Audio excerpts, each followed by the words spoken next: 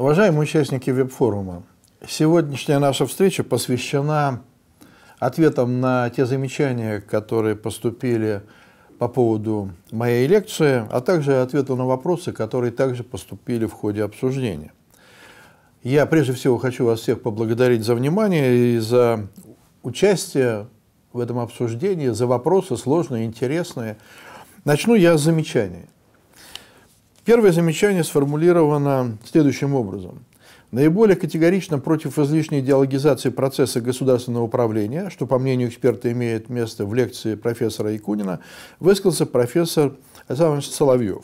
По его мнению, если система ценностных ориентаций обретает характер идеологии, да еще претендует на общегосударственное звучание, то ко всем управленческим рискам присоединяется и угроза искусственного раскола общества – Ибо идеология – это не нейтральная система каких-то передовых или перспективных взглядов на будущее общества и государства, а способ формирования совершенно определенных групповых интересов. В более мягкой форме против идеи выбора ценностей на основе идеологии и продвижения таких ценностей в форме некого общественного идеала, национальной идеи, в процессе государственного управления высказывается и профессор Сморгунов. Пожалуй, это наиболее существенные замечания, на которые мне сегодня предстоит ответить. И я бы свой ответ сформулировал следующим образом. Ну, прежде всего, Александр Иванович берет только одно определение идеологии из, например, более чем 20, которые дал в своем фундаментальном труде неомарксист Терри Иглтон. Итак, одно из 20. В научной литературе существует множество определений идеологии. Отсюда в дискуссиях очень часто дискутирующие иногда не могут прийти к определенному консенсусу просто потому, что они говорят о разных вещах. Представленный доклад, мой представленный доклад, был построен на понимании идеологии как системы общественно значимых ценностей не ценности, которые спущены сверху, а ценности, которые определены общественным, по сути дела, консенсусом или большинством членов общества. Такой подход к категории идеологии достаточно распространен и традиционен. Кстати, об этом хочу процитировать, говорил и профессор Рыбаков. Ценности лежат в основе идеологии – и ключевым становится вопрос о месте и роли идеологии в современном мире.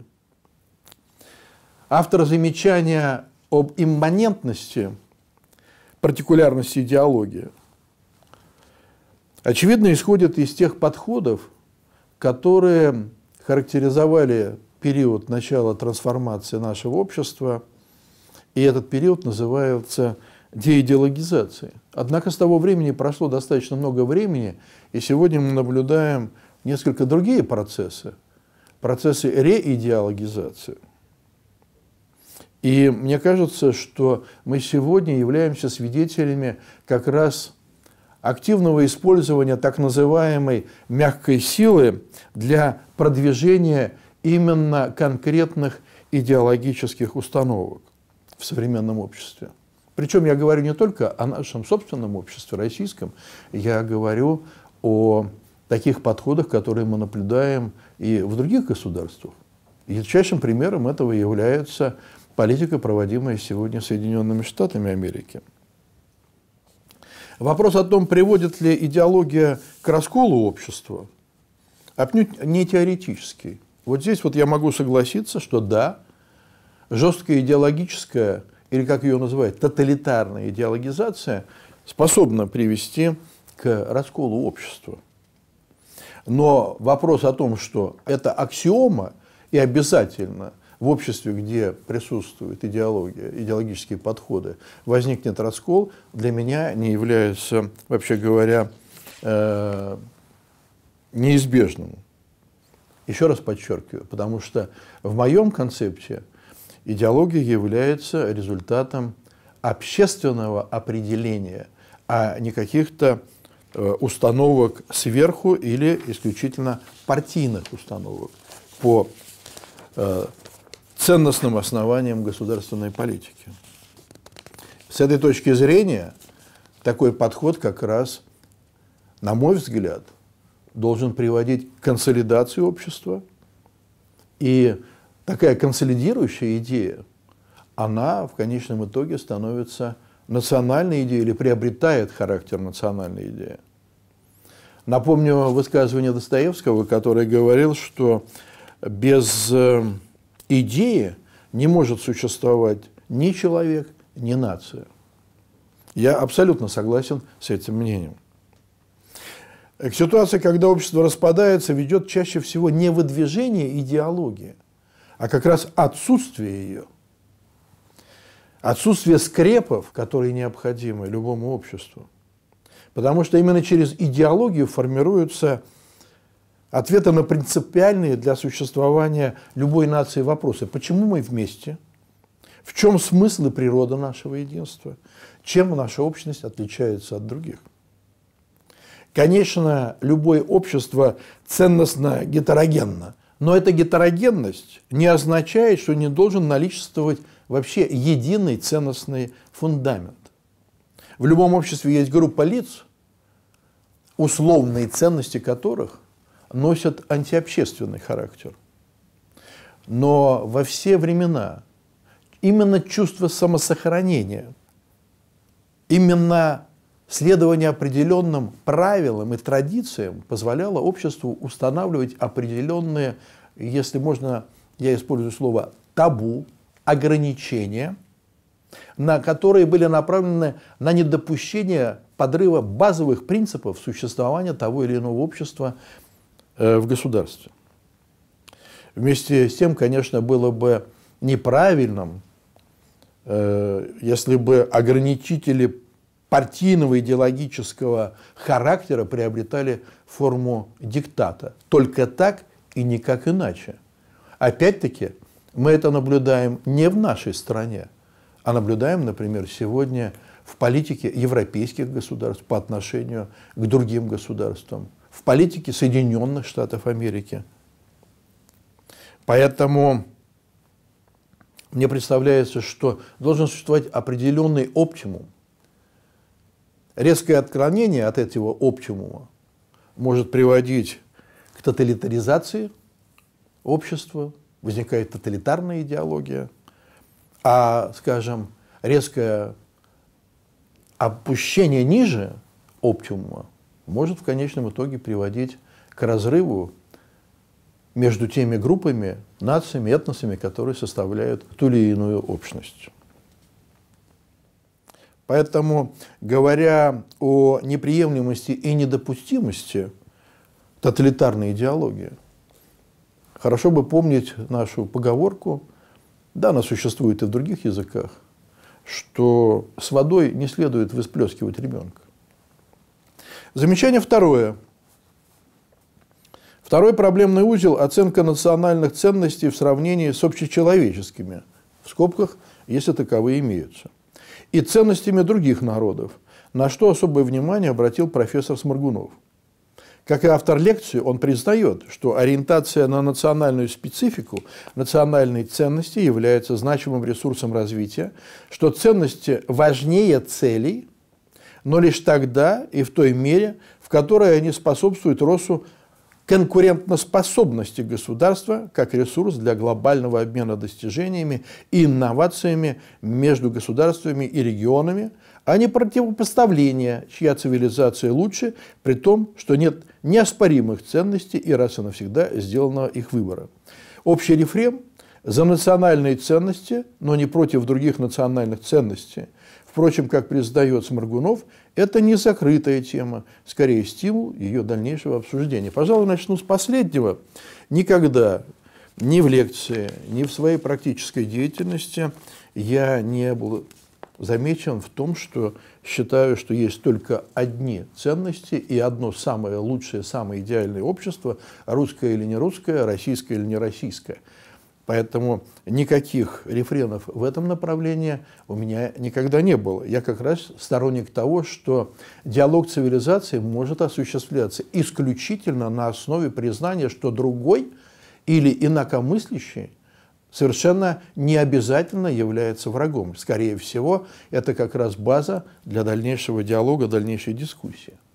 Что же касается приписываемого мне высказывания насчет того, что ценности э, важнее целей – то я прошу прощения у уважаемого оппонента, но ничего подобного я не говорил. Я как раз говорил о том, что существует единая управленческая линейка, состоящая из ценностей, цели, средства, результаты. Это и есть единая государственная управленческая цепочка.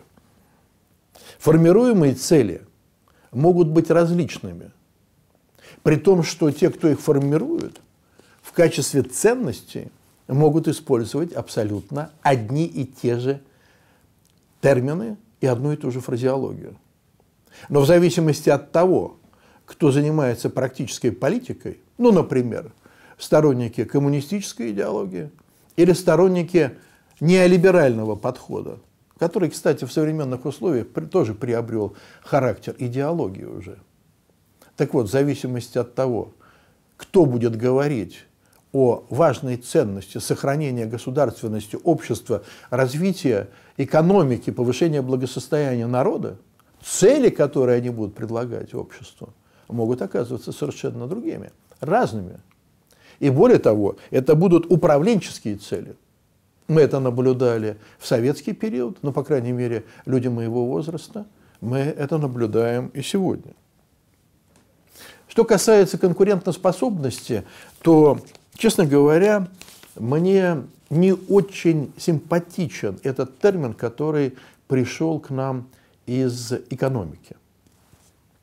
Безусловность принятия этого ориентира вызывает у меня сомнения, хотя, конечно, в принципе, и это может быть мерилом успешности государства. Но вообще говоря, это гоббсовская парадигма, которая приводит к определению мира как глобального поле всеобщей конкуренции во всем, абсолютно во всем. На этой парадигме действительно выстраивается исторически западноцентричная миросистема, определяемая ранее через маркер капитализм. Но такая система не единственная возможная модель социогенеза. Зачастую для государства более целесообразным в какие-то моменты ограничить этот обмен, сократить поток этого обмена. Примером этого является, например, современный Китай, поскольку это все-таки тема другой, возможно, нашей дискуссии. Но, тем не менее, мы наблюдаем, что Китай, который сегодня достигает колоссальных успехов в своем экономическом развитии, тем не менее, например, использует ограничения с точки зрения распространения и доступа к интернету. Не абсолютный, кстати, э, позитивный пример. Я просто говорю о том, что в конкретных ситуациях возможны те или иные подходы. При этом, как мы определили, Китай сегодня занимает вторую строчку в мире экономически успешных держав, а мы, к сожалению, находимся значительно-значительно ниже. Поэтому различия и следствие принятия различных категорий – совершенно очевидно. Я ниже буду еще об этом говорить, но мы в своих работах более склонны использовать термин «жизнеспособность государства». Поэтому, по нашему мнению, категория жизнеспособности предполагает наличие цивилизационно различных механизмов жизнеобеспечения. Замечание 3. Несколько в ином ракурсе подходит к этой теме а, и Соловьев – который подчеркивает, что даже не государство, а правительство способно задействовать ценности в процессе управления под свои собственные стратегии, что никакой устойчивой связки ценностей и целей в управлении государством не существует, что постоянная апелляция к ценностям в управленческом процессе приоритетность этой составляющей способна принести скорее вред, чем пользу. В скобках пример СССР. Ну, в принципе, можно ли согласиться с тем, что правительство может под свои собственные интересы трансформировать э, ценностные основания? Думаю, что с этим, вообще говоря, можно согласиться. Да, может. Но выдвижение своекорыстных целей при использовании фразеологии ценностей, которые приняты государственным обществом, гораздо выше в той ситуации, когда публично ценности не артикулированы, когда общество не имеет представления об этом. Как это иногда происходит при смене тех или иных формаций, смене идеологии. Мы наблюдали это в Советском Союзе, когда происходил процесс деидеологизации, коммунистическая идеология ушла, а что было предложено взамен? По сути дела, взамен никакой системы ценностей предложено не было. Об этом мы тоже довольно часто говорим и дискутируем, в том числе и на нашей кафедре. Так вот, артикуляция ценностей государства является, на мой взгляд, своеобразным ограничителем для самодурства или э, продвижения собственных интересов, как правительством в целом, так и отдельных его членов. Далее говорится, устойчивой связки ценностей и целей в управлении государством не существует. Я согласен с этим. Совершенно верно.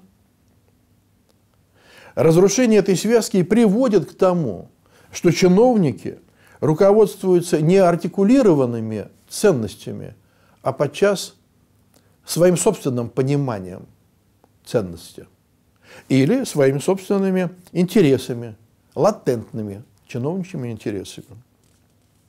Цели таким образом в реалиях российского государственного управления не имеют устойчивой связки с применяемыми средствами.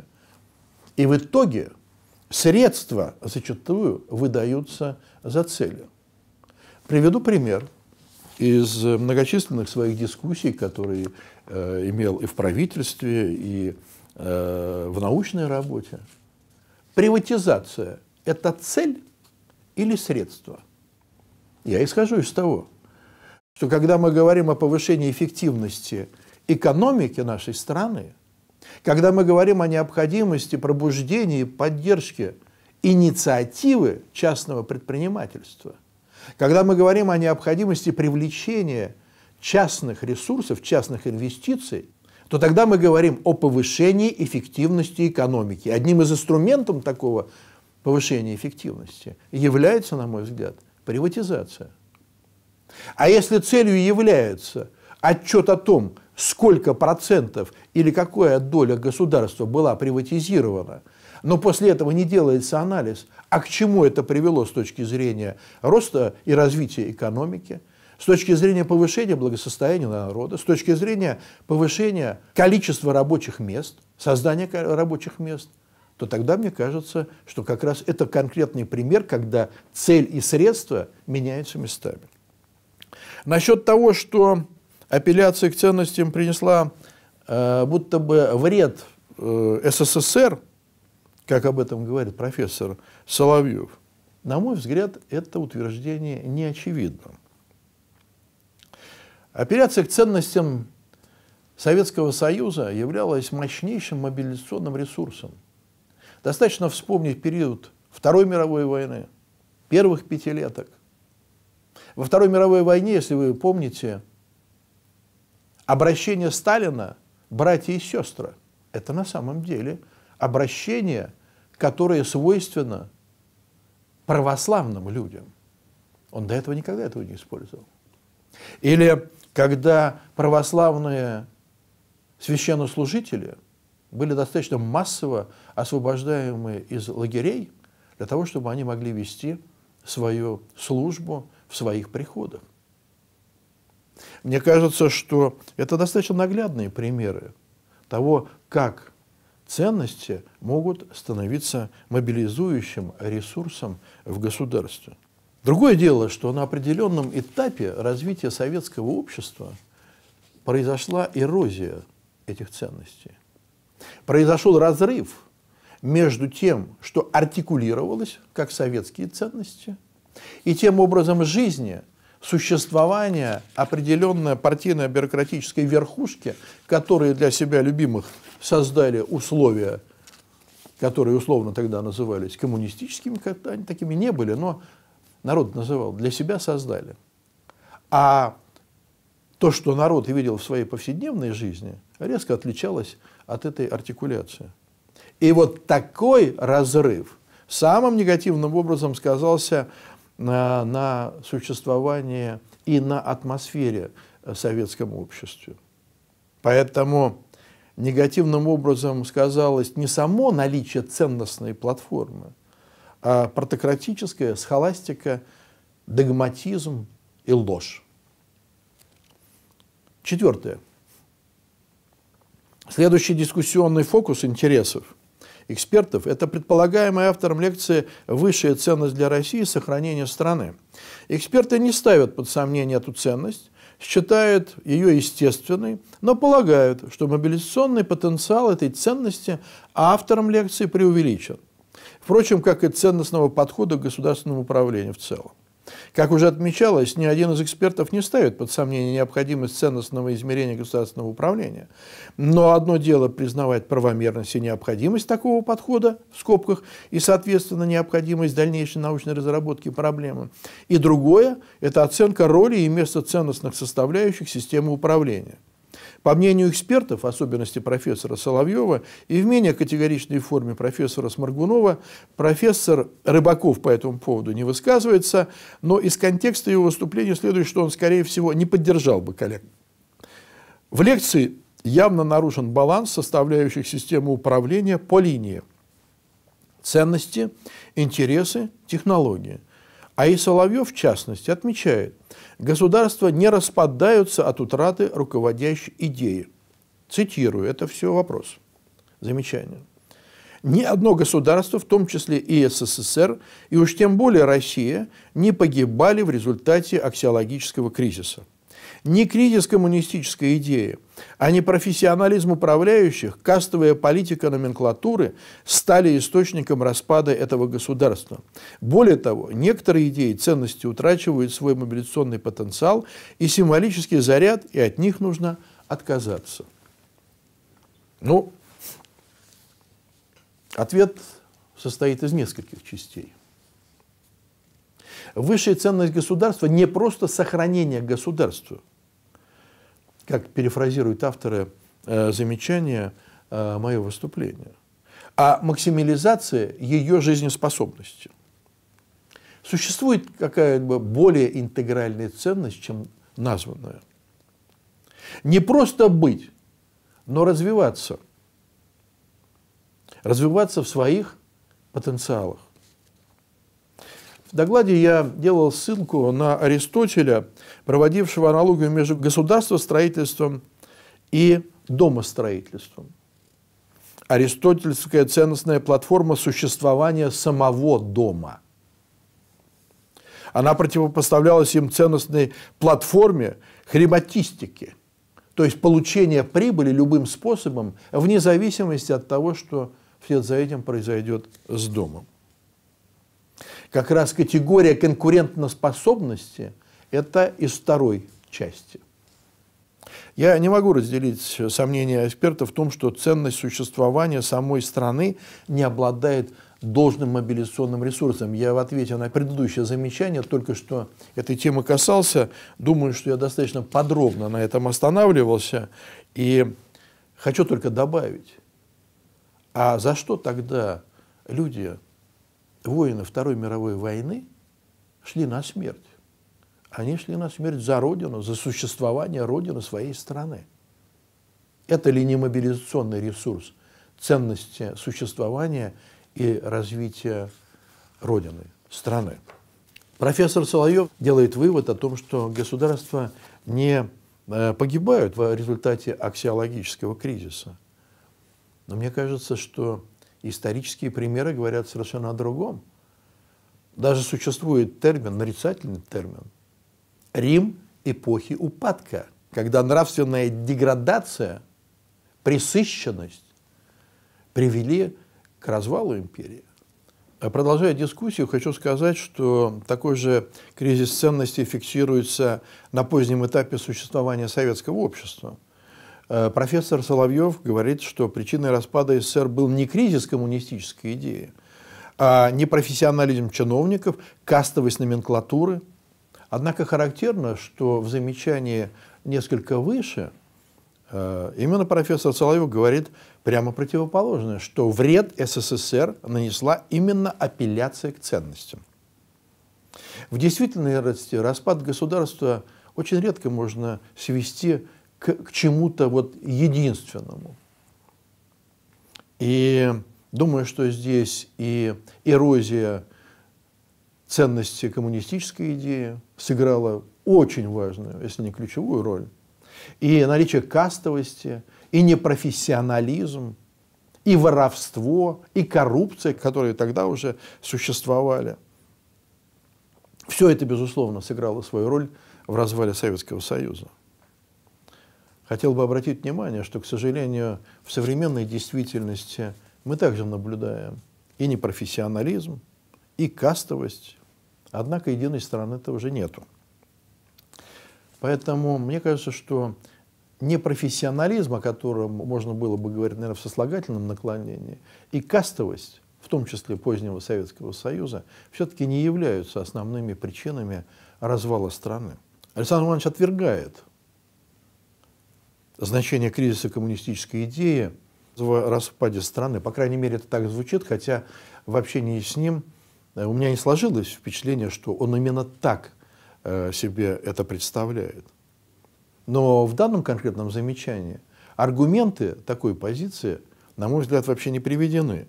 А вот что касается традиционной оценки, традиционной историографии, исторической учебной литературе, мы как раз находим ссылки на то, что именно кризис эрозия коммунистической идеи привели в основном к распаду страны. Или, по крайней мере, это являлось важнейшим элементом. И действительно, к концу существования Советского Союза вера в коммунистическую идею подверглась очень существенной эрозии в обществе. Вера в эту идею не просто ослабла, а катастрофически ослабла. Осуществлялась потребность в модернизации идеи, в модернизации общества. Однако, к сожалению, партийная верхушка, она пошла по другому пути.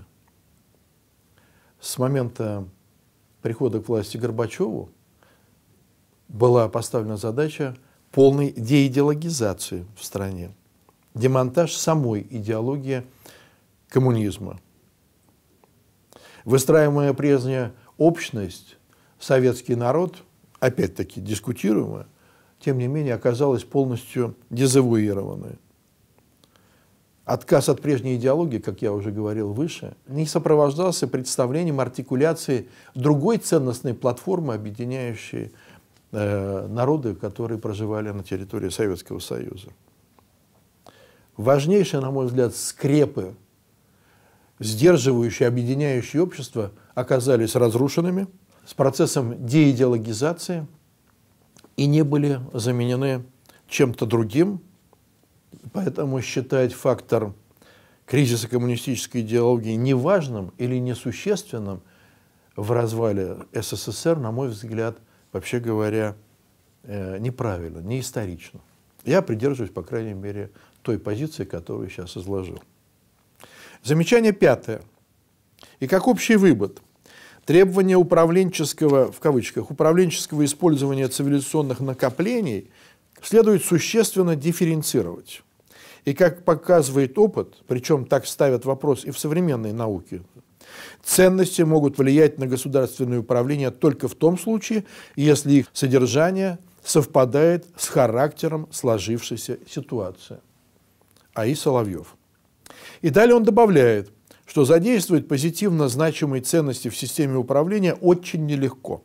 В этом пункте с ним фактически солидарен Сморгунов, когда рассуждает о том, как соединить современные религиозные и политические проблемы.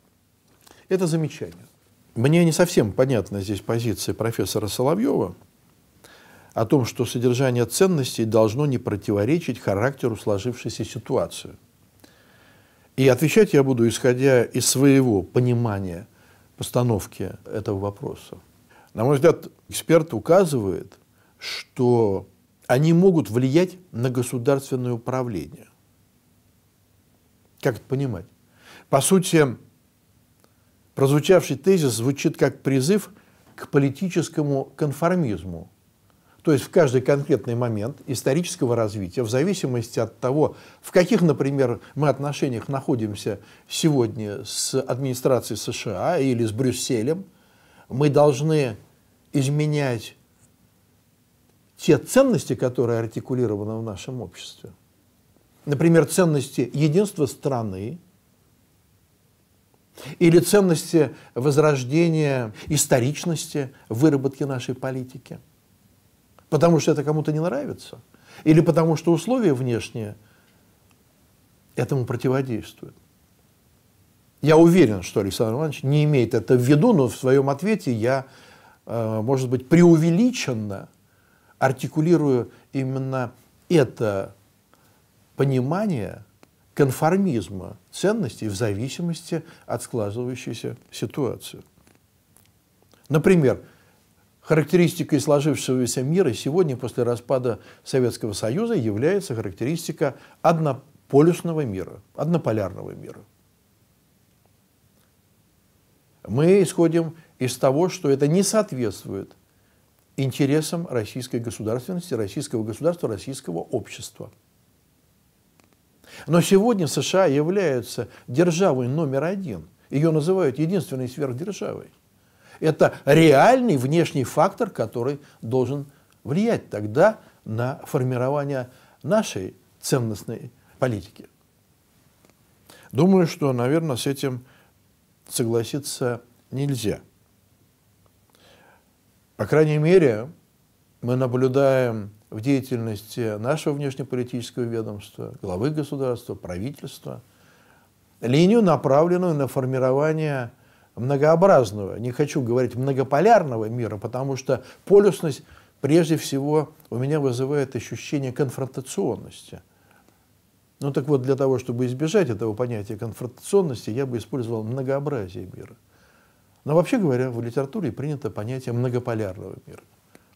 Политик должен не только оценивать внешние или внутренние обстоятельства его политической деятельности, но если он действительно политик, выдвинутый на определенные позиции народом в ходе голосования или каким-то другим образом, то он должен, анализируя эти обстоятельства, вырабатывать линию, которая отвечает интересам государства, которое он представляет, или общества, которое выдвинул на эти позиции. Мне представляется, что таков подход. Средовые условия, как я уже неоднократно здесь говорил, безусловно, должны быть учтены. Однако этот учет условий не должен означать ревизии собственных целей, как иногда это звучит и в научной литературе, и в политических дискуссиях. Конечно, имплементировать ценности в государственное управление не просто, я с этим замечанием абсолютно согласен. Но кто говорил, что политика – это легкое дело? Еще Эйнштейн утверждал, что политика гораздо сложнее физики. Я с этим согласен. Таковы ответы на замечания, которые поступили по лекции. Дальше есть целый срез вопросов. У нас есть некоторое время, которое мне отведено. Вопросы сформулированы и перечислены в том виде, как они поступали. Вопрос один, первый. На ваш взгляд, какие идеологические ценности могут привести Россию к успеху? Какие страны мира отличаются качественным государственным управлением? Как я уже говорил, успешность страны – это сложная интегрированная категория, она не достигается за счет развития одной-двух ценности. В противном случае появляются точки уязвимости. Жизнеспособность страны, опять-таки, как мы это подчеркивали, является таким интегрированным выражением всей совокупности ценностей, в том числе и успешности государственного управления. Все, что повышает жизнеспособность страны, должно получить соответствующее выражение. И напротив, все то, что подрывает жизнеспособность, может быть квалифицировано в качестве антиценности. Э, сегодняшний пример Соединенных Штатов Америки показывает, что это страна, которая занимает высшую строчку в любом рейтинге государств. Достигнуть этого уровня они смогли благодаря качественной системе государственного управления. Я не говорю о ценностях, которые положены в основу этого государственного управления. Отнюдь не разделяю целей, которые достигаются. Я говорю о фактическом положении дел на международной арене. Они достигли этого еще и благодаря успешному управлению ценностями. И мы на протяжении даже небольшого периода э, можем наблюдать, как эти ценности трансформировались. Не случайно поэтому. Не только американцы. До последнего бездомного, я сам это наблюдал на улицах Нью-Йорка, убеждены в превосходстве американского образа жизни, но этот образ, этот штамп, американский образ жизни, стал очень привлекательным э, для представителей других обществ, других цивилизаций. Другое дело, я еще раз хочу это подчеркнуть, что эти ценности, которые, американские ценности или ценности англосаксонской цивилизации, как мы говорим в теории диалога цивилизаций, эти ценности отнюдь неприемлемы, не все, по крайней мере, для России и остального человечества, и свидетельством этому является колоссальное количество горячих точек в которых, по сути дела, ведутся боевые действия. В качестве успешности государственного управления, я думаю, мы можем сослаться на опыт Китайской Народной Республики. Я уже ссылался на них по другому поводу. Я достаточно много бываю в Китае, встречался со многими партийными руководителями, представителями бизнеса, и могу вам сказать, что да, это действительно консолидированное общество, консолидированное общество, консолидированная система управления, основанная на вполне конкретных базовых ценностях, которые они считают ценностями для себя. При этом могу сказать, что многое из того, что сегодня реализуется в Китае, было заимствовано э, еще в эпоху Советского Союза, но переработано под китайскую национальную специфику. Вообще говоря, вопрос о ценностях в системе государственного управления Китая является ключевым. Совсем недавно был э, в городе Ланчжоу, читал там лекцию студентам, встречался с первым заместителем губернатора провинции. Я был поражен, когда этот политический чиновник общался со мной в терминах МОФа «Диалог цивилизации», Мирового общественного форума «Диалог цивилизации» на этом уровне, это провинциальный уровень, политический партократ, как у нас бы сказали, не только владеет терминологией, он понимает суть тех проблем, которые этими терминами описывают. Второй вопрос. Присутствуют прямые указания на аспекты проблемы, которые не нашли должного отражения в лекции, по мнению Д и Г. Это навязывание чуждых ценностей и идей, психологическая война против России, а также проблема соотношения высшей ценности и национальных ценностей тех 200 народов, которые живут на территории России.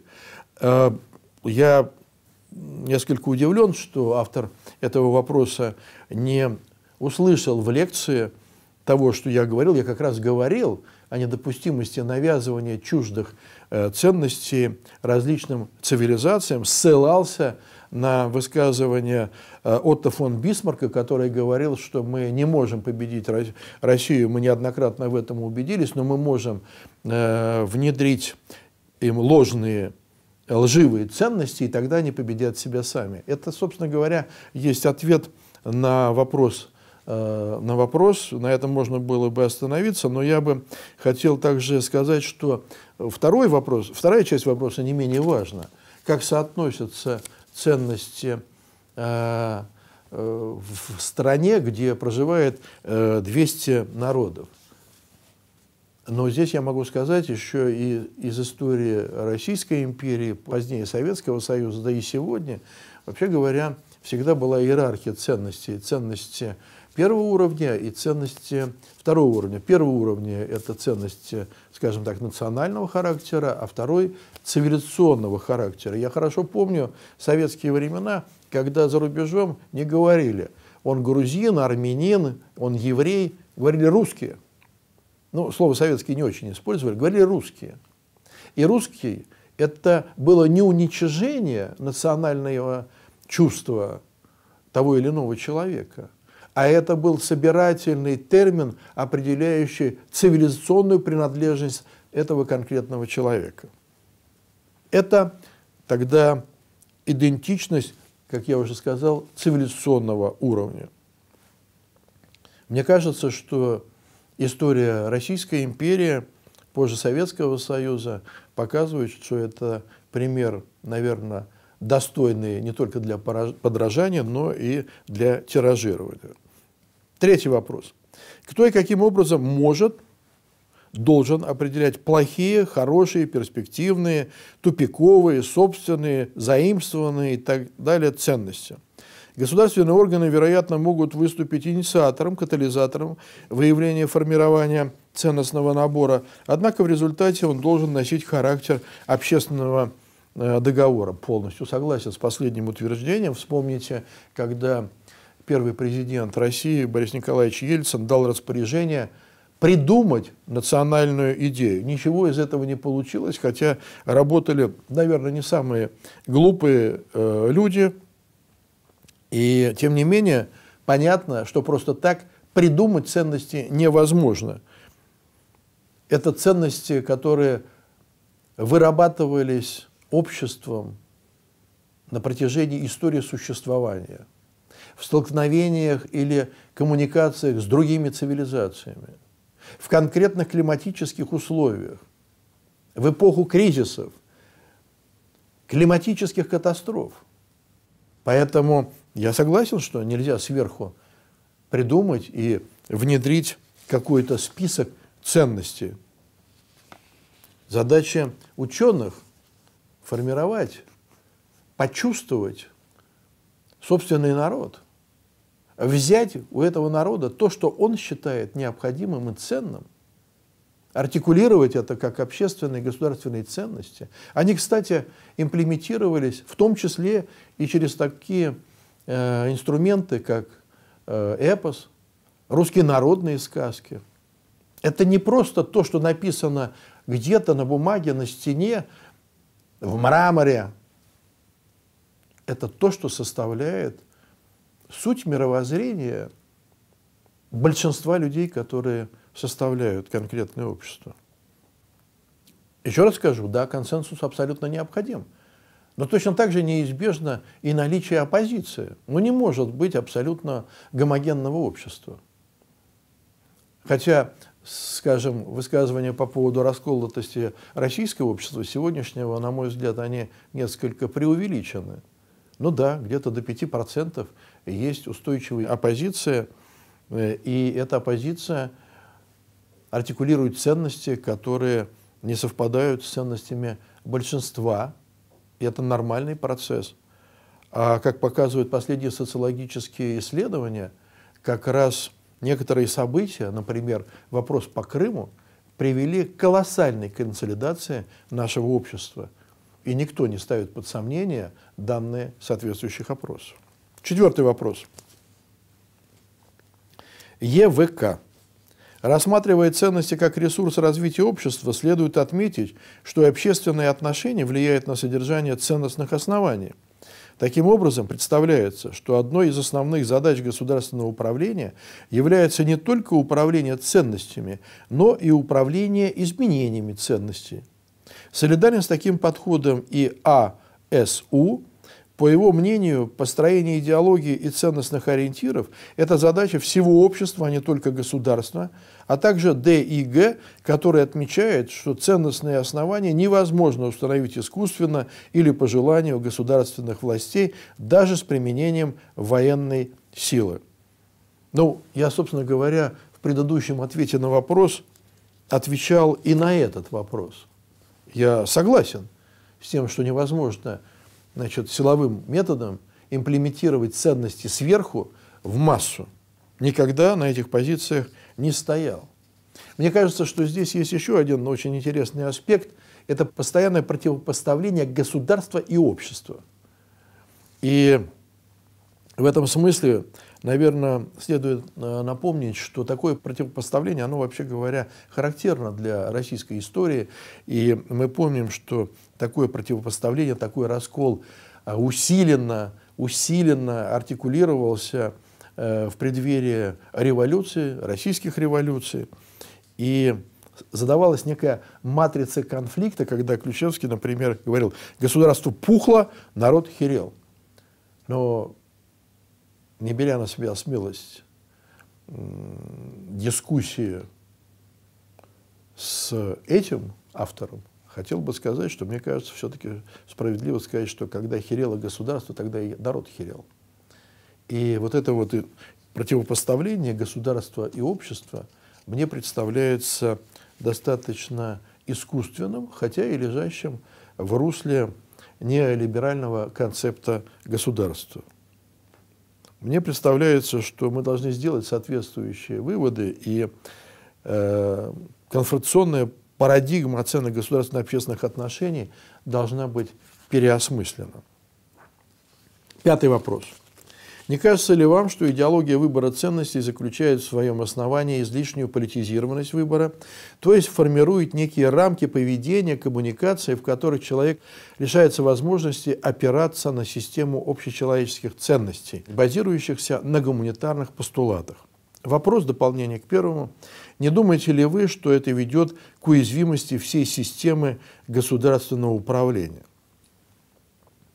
Вы знаете, фраза идеология выбора ценностей заключает в своем основании излишнюю политизированность выбора, мне представляется лишена внутренней логики.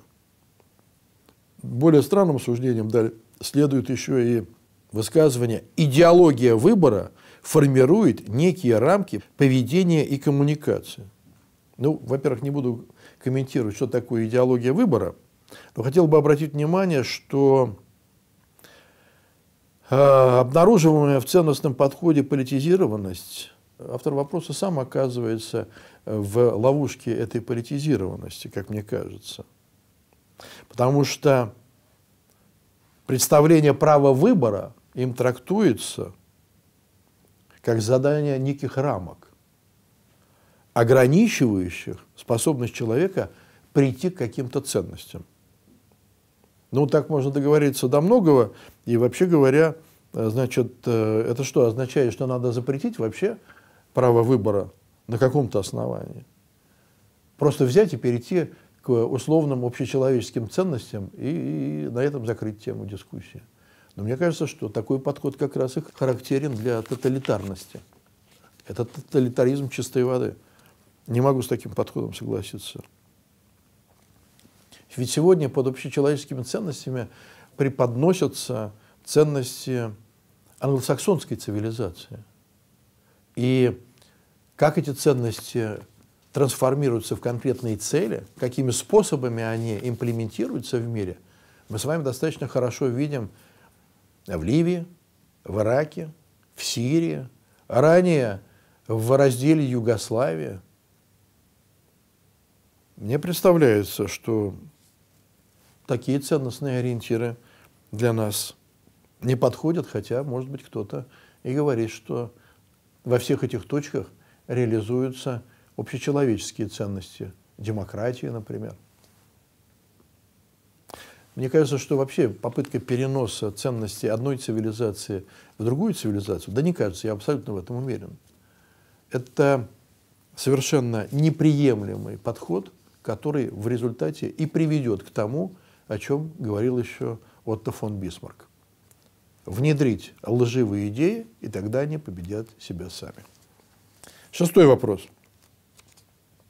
Вы обозначили ценности в цепи целей государства, ценности, цели, ресурсы достижения, далее цели, пути достижения, образ страны. Как сохранить систему выбранных, установленных идеологических ценностей от колебаний политического курса государства. Вот мне кажется, что именно преемственность политики, вне зависимости от смены лидеров, политиков, является ключевой задачей организации развития демократического общества. именно демократизация процессов управления. А античное э, звучание демократии, как вы помните, это власть народа. Неформальная, когда создаются э, значит, определенные технологии, выборные технологии, а именно конкретного участия гражданского общества в управлении государства, и мне кажется, что это абсолютно верно. Еще Сенека говорил, что у того корабля нету попутного ветра, капитан которого не знает направления своего движения. Седьмой вопрос. Как известно, Россия всегда искала свой особый путь развития, в том числе в поиске и формировании идеологии.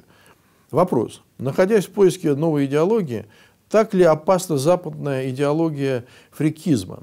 И не считаете ли вы, что на современном этапе в стране существует скрытая идеология, в кавычках? Автор, судя по контексту, имел в виду элиту, которая, выдвигая те или иные общественно значимые ценности, в своей жизни руководствуется совсем другими.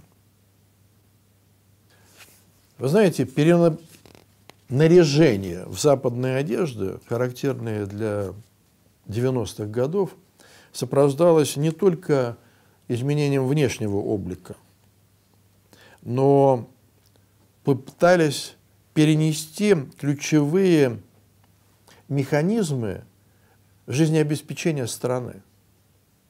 К чему это привело, мы все хорошо знаем. Но невозможно, потому что для того, чтобы адаптировать эти механизмы, эти инструменты, необходимо перенести всю культурную среду. Это невозможно. Поэтому попытка некритичного использования того, что хорошо работает в одной стране, в других странах, приводит прямо противоположному результату относительно тех благих побуждений, которыми, может быть, руководствовались те, кто пытался перенести эти механизмы. А, что касается идеологии государства, то она не может быть скрытой по той простой причине, что именно государство должно артикулировать эти ценности. А что касается а, элиты, то нет никакой латентной идеологии, потому что сама наша элита, она не является единой. Есть часть элиты, которая ориентирована на Запад, и внутренне они настроены на разрушение России. Есть такие. Есть элита, которая исповедует патриотические взгляды, и такие, безусловно, есть. И широкую часть элиты представляет элита, которая усвоила ценность потребления, неограниченного потребления. Воинствующий консюмеризм, по определению одного из основоположников Мирового общественного форума «Диалог цивилизаций» Джагдиша Капура. Консюмеризм, ничем не ограниченный и не обращающий внимания на потребности других. Поэтому нет какой-то скрытой идеологии, нету какой-то единой идеологии элиты, разрыв между тем, что говорится, и тем, что делается, он существовал и существует сегодня. Но все-таки, еще раз повторюсь, я считаю, что нет никакой скрытой идеологии государства. Уважаемые друзья, с учетом того, что время бежит неумолимо, я не смогу ответить на все вопросы, которые поступили, но тогда буду уже вот выбирать те вопросы, которые мне кажутся очень Э, очень интересную. Вопрос десятый. Какие российские ценности в настоящее время могут использоваться в качестве инструмента мягкой силы в международных отношениях? Период постмодерна, в котором сегодня живет мир, соотносится с действием сил нравственной деградации. Собственно говоря, сделать ужасное и выдать его за прекрасное – это есть э, один из элементов постмодерна. Поэтому мы говорим о не просто альтернативном существовании, а мы говорим об альтернативном пути развития. Собственно говоря, и это и составляет ответ на ваш вопрос. И ситуация 2014 года, а мне приходится очень много путешествовать по свету, показывает, что запрос на активное участие России в международных делах, интерес к России на фоне вот этого совершенно беспрецедентного давления, которое направлено в сторону России, усиливается. Поэтому э, примерами такой мягкой силы являются традиционные э, ценности России, которым, например, в отличие от атомизации и индивидуализма, противопоставляется коллективизм. В отличие от установки внешнеполитическим ведомством, посольством Соединенных Штатов Америки усиленного агрессивного продвижения идеи равенства однополых браков с традиционными э, браками мужчины и женщины, может быть э, противопоставлена ценность, ну, назовем ее традиционной, вообще говоря, природной семьи, состоящей из мужчины и женщины и воспитываемых ими детей. И вместо ренты и спекулятивного э, финансового капитала, трудовое право, вместо расизма и артикуляции эксклюзивности одной конкретной нации, это диалог цивилизаций, многоэтничность нашего общества и опыт нашего сожительства. Далее.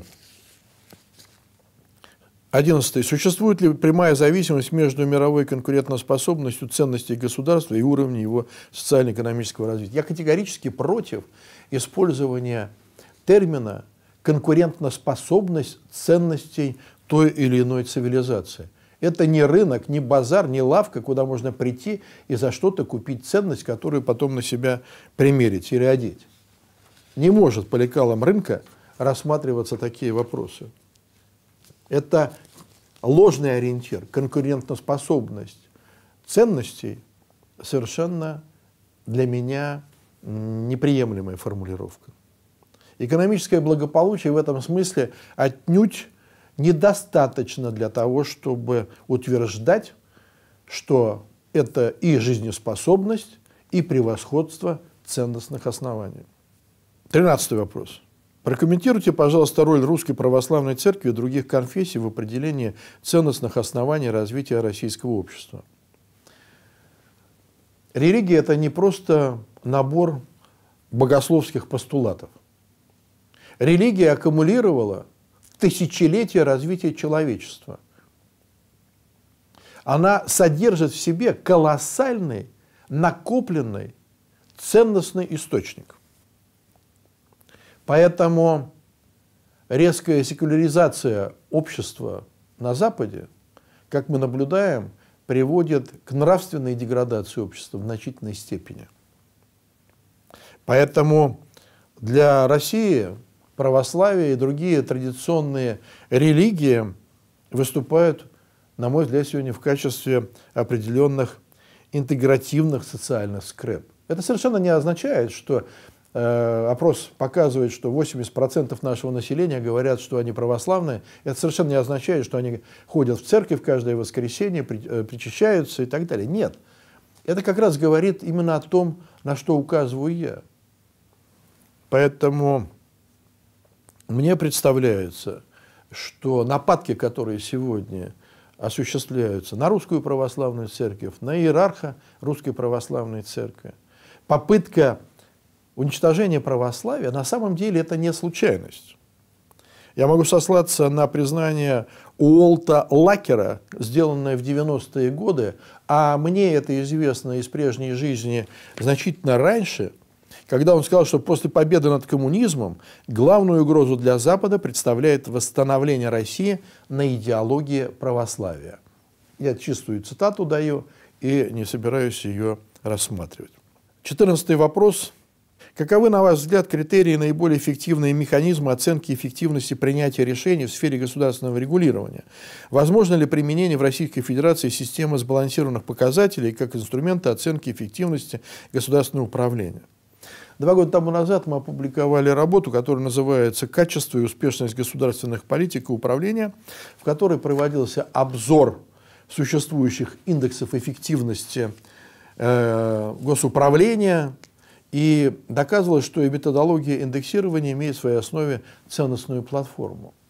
я за неимением времени отсылаю вас к этой работе, могу только сказать, что и здесь те коэффициенты, те критерии, которые мониторируются с точки зрения оценки или определения э, успешности и неуспешности государства, они тоже не э, свободны от политической ангажированности, идеологизированности, и очень правильно нужно выбирать что же мы мониторируем и что же мы наблюдаем. Например, это такой индекс, как индекс развития человеческого потенциала. Э, это и длительность время жизни, достойная жизнь. Вопрос, а что значит достойная жизнь? Как это определить? Это очень интересный вопрос, он требовал бы развернутого ответа, но я ограничусь тем, что я сказал, с учетом нехватки времени. Еще раз хочу сказать, что нам э, более понятен и мы продвигаем идею использования э, интегрированного индекса, которым является расчет коэффициента жизнеспособности страны. Еще раз скажу, что в упомянутой мной монографии вы можете найти и э, прочитать более подробный ответ на этот вопрос. Девятнадцатый вопрос. И с вашего разрешения последний. В рамках снижения избыточного государственного регулирования планируется ли отменить лицензирование? Рассматривается ли в качестве наиболее реальной альтернативы лицензированию саморегулирование? Как вы относитесь к этой идее? Но ну, вообще говоря, абсолютизация идеи саморегулирования как раз основана на преувеличенной вере в абсолютные возможности э, стихии рынка. Поэтому ко всему нужно относиться как к лекарству с осторожностью и очень тщательно дозировать то, что мы применяем. Сошлюсь на высказывание профессора Манчестерского университета Теодора Шанина, который предостерегал советское руководство еще в 1990 году. Опасения его были связаны с формированием в среде реформаторов феномена сталинизма наоборот, некой тоталитарной утопии все благости саморегулирующегося рынка. Факты, указывал британский исследователь, говорят о том, что Западная Европа – плохой образец свободного рынка. В Англии, например, цены на молоко отнюдь не регулируются свободной конкуренцией, они устанавливаются правительством, комиссией европейских сообществ, национальными картелями. Строительство промышленных предприятий и жилых домов определяется у нас или во Франции, Голландии и других странах государственными законами, муниципальными решениями, не в меньшей мере, нежели спросом и доходами строительных контор. Джон Гелбрейт, говорящий, предупреждал он в интервью известиям, а говорят об этом бойко и даже не задумываясь, о возвращении к свободному рынку времен Смита неправы настолько, что их точка зрения может быть сочтена психологическим отклонением клинического характера. Это то явление, которого у нас на Западе нет, которое мы не стали бы терпеть и которое не могло бы выжить. На этом, уважаемые участники веб-форума, я вынужден остановиться. Существует множество и других очень интересных вопросов. Я надеюсь, что в ходе дискуссии те, кто его задал, получат ответы. На этом еще раз хочу поблагодарить вас за активное участие, внимание к лекции и попрощаться, возможно, до новых встреч. До свидания.